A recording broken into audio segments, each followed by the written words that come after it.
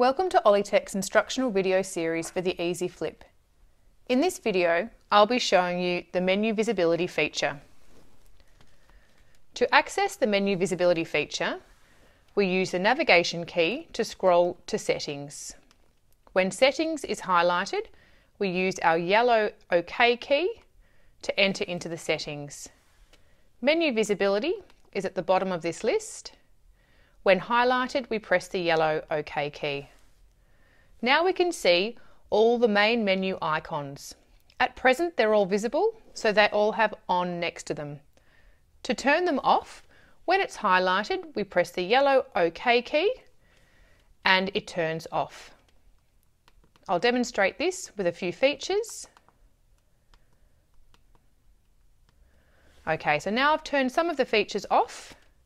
I'm going to go out of this menu and we can see that what I can see on my main menu has now reduced to only the icons that had on written next to them.